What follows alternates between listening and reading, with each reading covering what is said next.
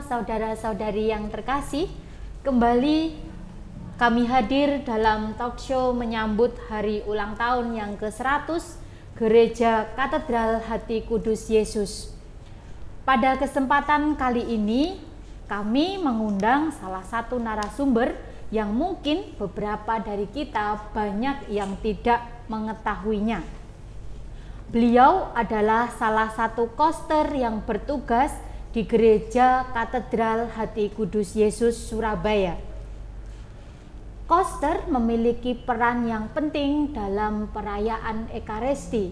Berkat pengabdiannya, umat Allah dapat beribadah dengan baik.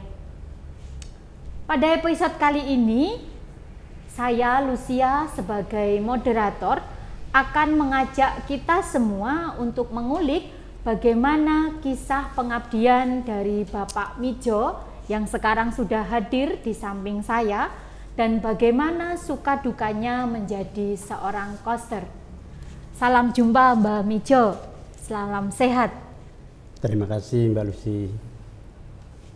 Oke, Mbak Mijo, senang sekali rasanya hari ini akhirnya kita bisa bertemu dengan seseorang yang berpengaruh Meskipun berada di balik layar, tetapi Mbah Mijo memiliki peran yang sangat penting, bahkan bisa dikatakan e, pengaruhnya sangat besar.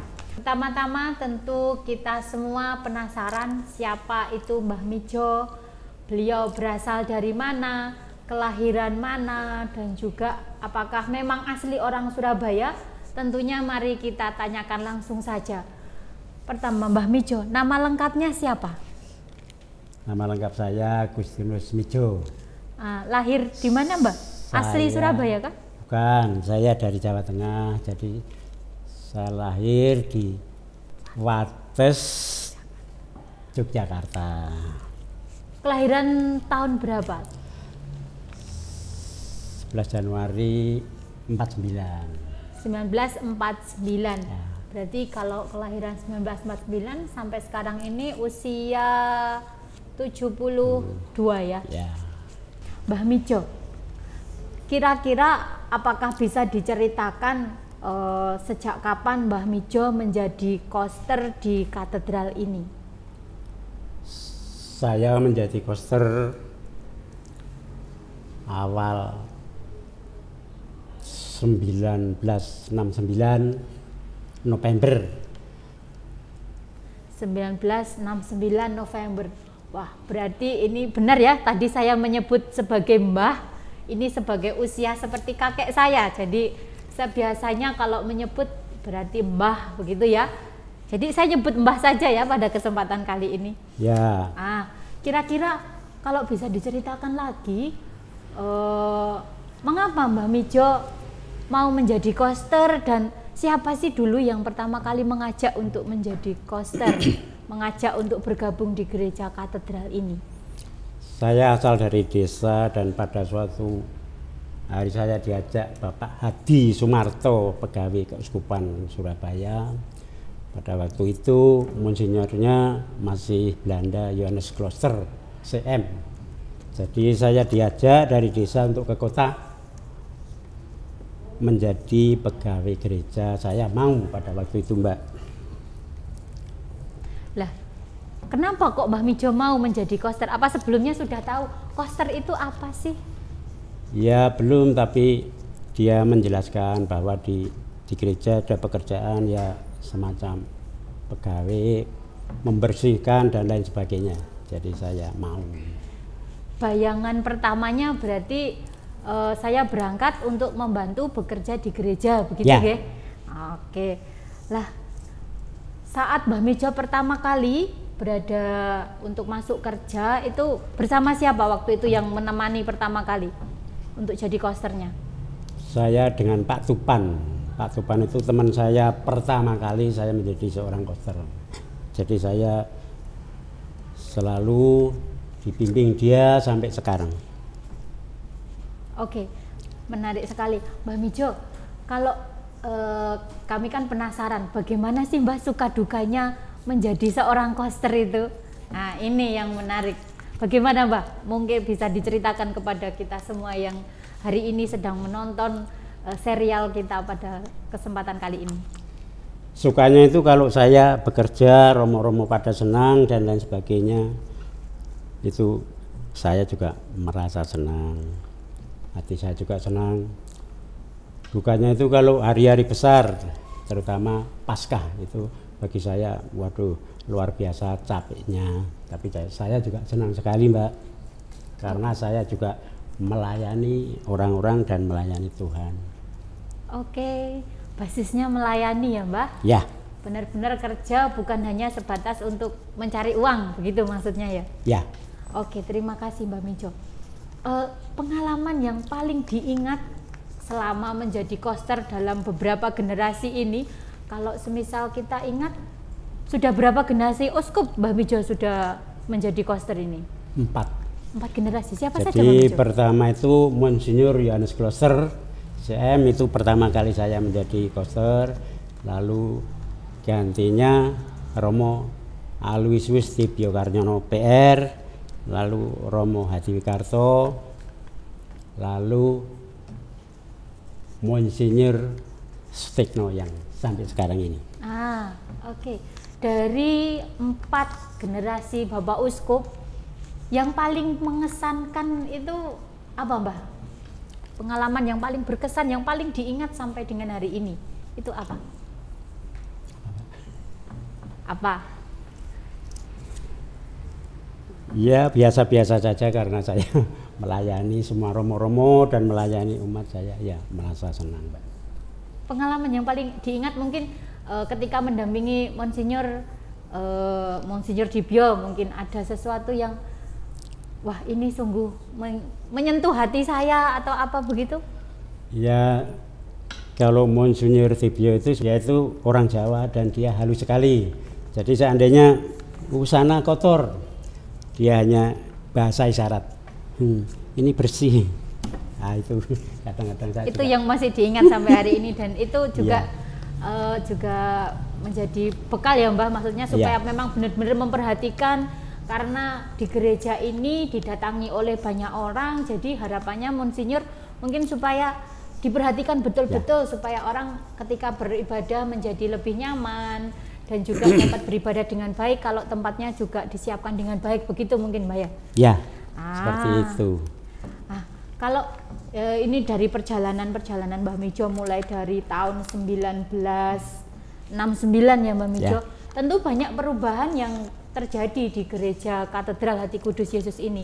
Eh, perubahan-perubahannya apa saja Mbah yang dirasakan yang Mbah yang Mbah tahu dan yang Mbah ikuti selama dari tahun 1969 sampai hari ini. Berapa tahun Mbah dulu sebentar? Berapa tahun ini berarti sekarang sampai hari ini? Ya, 50-an. 50, Mbak. Ah, 54. Iya. Ah, 54 tahun.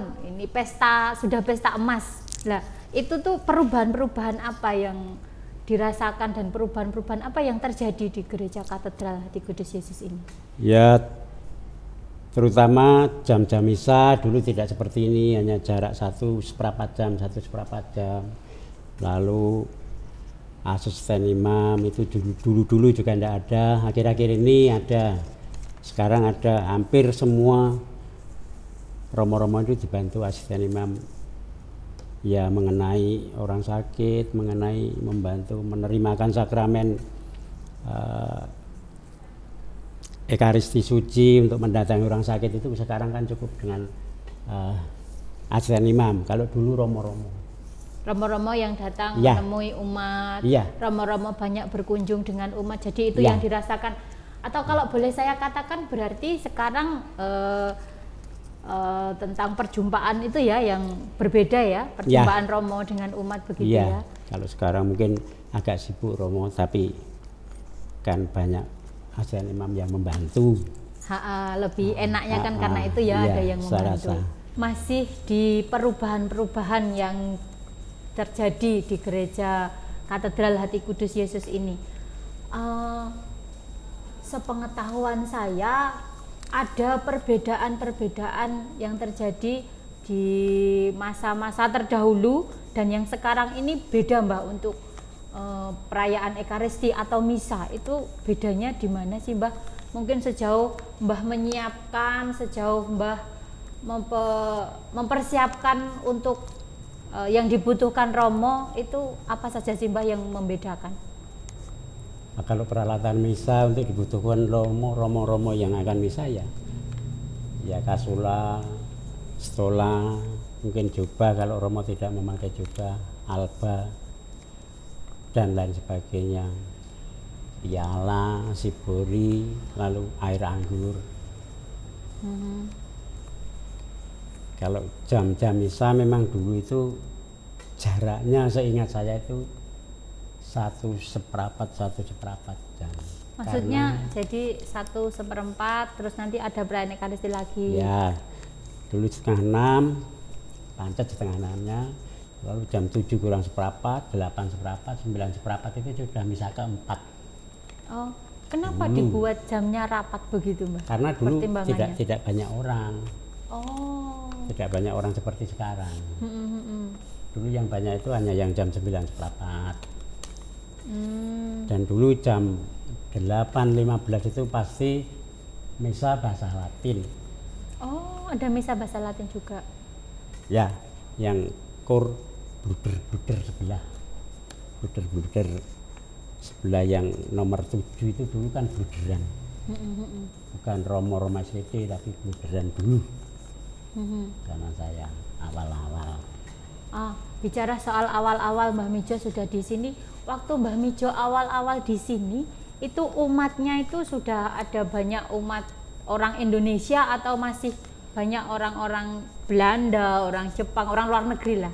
Ya banyak orang sini tapi ada beberapa orang yang uh, kelihatannya Belanda tapi mungkin sudah domisili di sini tapi hanya sedikit sekali apalagi setengah enam itu setengah enam pagi itu sedikit sekali orangnya walaupun jam misalnya walaupun misalnya sama enam kali Sabtu sampai Minggu itu enam kali Hmm. sampai sekarang tapi jamnya yang beda karena dulu orangnya hanya sedikit sedikit Oh, begitu.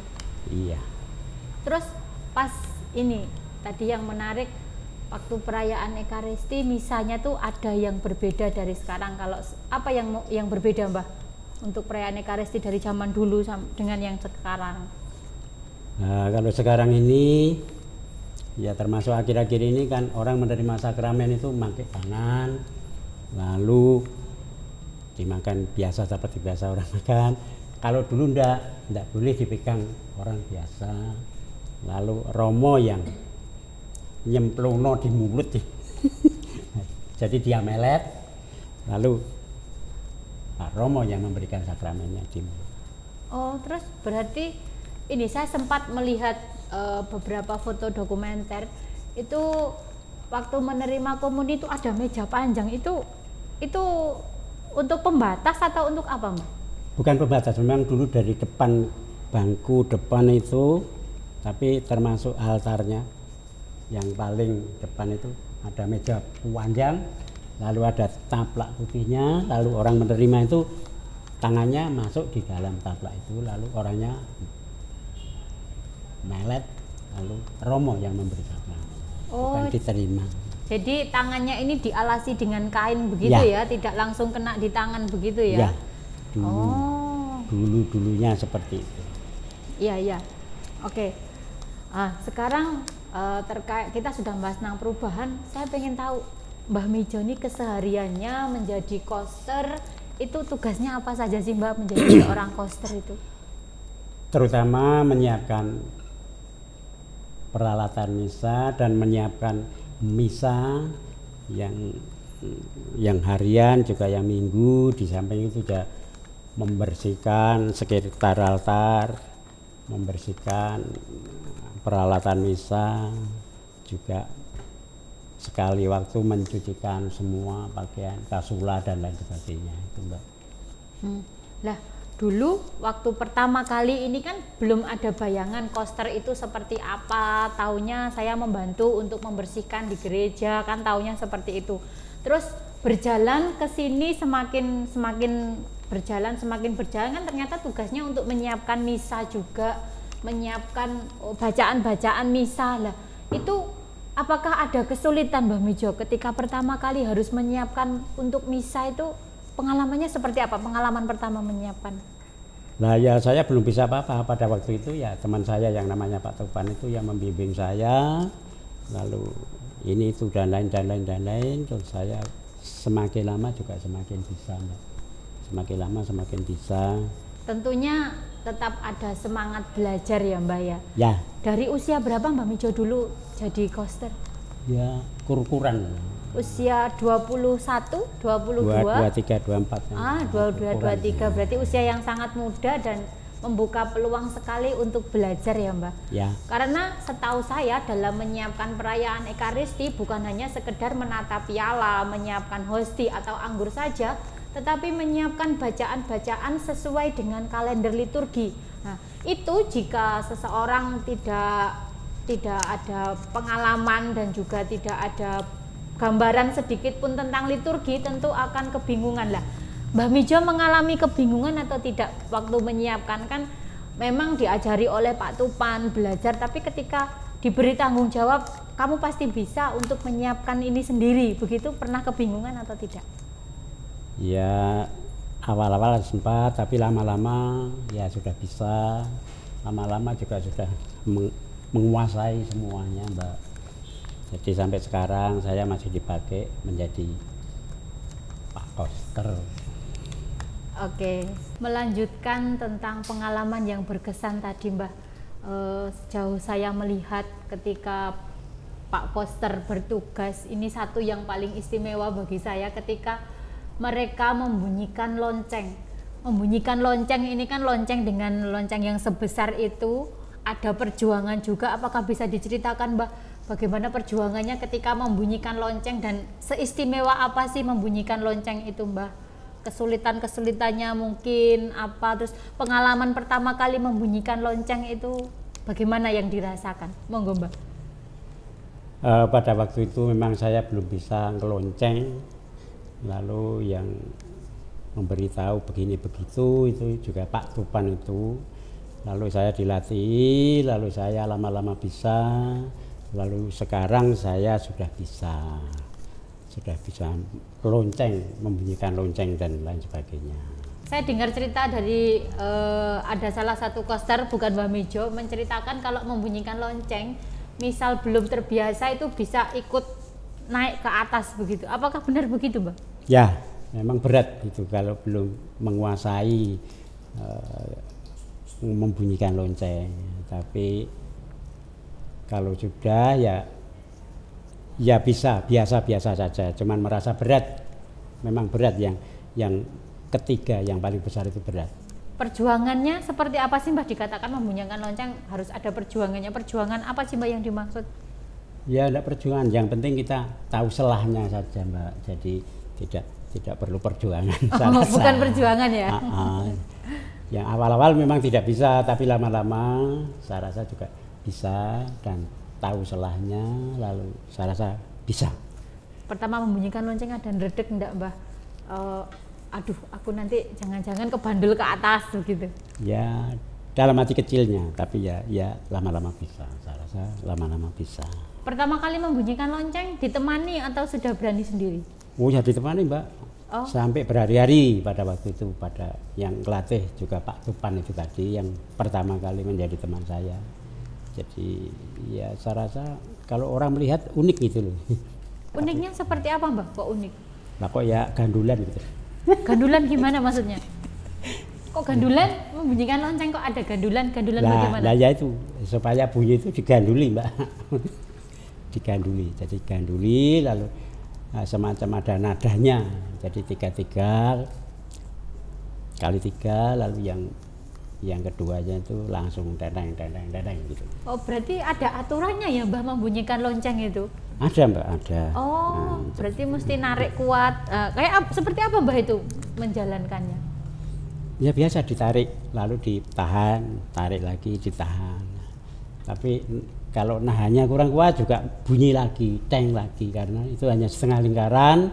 Lalu kalau ada gandulnya kalau gandulnya itu ke sini kembali. bunyi kalau nahannya tidak kuat Oh. hanya itu saja Mungkin yang dikatakan perjuangan itu menahan Ya, supaya itu- itu. tidak kembali, kembali itu ya. bunyi lagi itu Ha, Bahkan sempat satu kali saya melihat itu posisinya Bapak Koster menarik lonceng ini sampai apa ya? Sampai seperti tiarap begitu. ya Iya, Mbak? ya Benar ya. Ah. itu terutama kalau memberhentikan Hmm, di Iya. usia yang sekarang ini Mbak Mijo masih membunyikan lonceng. oh siap Oh masih membunyikan lonceng juga. Saya pikir gantian saya sudah sepuh karena harus bandul-bandul. Jadi saya mesti, oh saya gantian saja yang lebih muda yang membunyikan begitu. enggak Enggak. itu saya rasa juga sedikit banyak untuk membantu kesehatan Oh kenapa kok membantu Saya kesehatan? rasa. Heeh. Karena- Kenapa Mbak Mijo merasa begitu? dalam hati saya begitu kelihatannya Karena sambil olahraga ya Mas. Mm-mm. Oke oke ada gerakan-gerakan yang Ya, seperti ya. orang berolahraga ya. betul Begitu. Terima kasih Mbah Mijo atas kehadiran dan juga eh, ketersediaannya menjadi narasumber kami pada kesempatan hari ini. Eh, Saudara-saudari, ternyata banyak sekali yang dilakukan oleh Koster dalam menjalankan tugas pengabdiannya. Bukan hanya sekedar eh, menyiapkan peralatannya saja tapi ternyata perlu perjuangan dan banyak belajar dalam memberi diri dalam melayani Tuhan mengabdi di gereja katedral hati kudus Yesus ini. Mbak Mijo karena ini dalam rangka menyambut 100 tahun ada baiknya kita memberi ucapan selamat untuk gereja katedral hati kudus Yesus yang pada tahun ini merayakan eh, hari jadinya yang ke-100 maka baiknya kalau kita mengucapkan bersama-sama ya Mbak untuk ucapan selamat ulang tahun.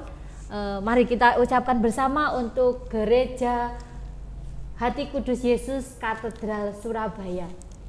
Selamat, Selamat ulang, ulang tahun, tahun ke-100 ke-100 gereja, Gereja Katedral Hati Kudus Kudus Yesus Surabaya. Surabaya. Semoga semakin semakin banyak orang mengenal mengenal dan mencintai Yesus. Selamat ulang tahun, selamat hari jadi gereja katedral.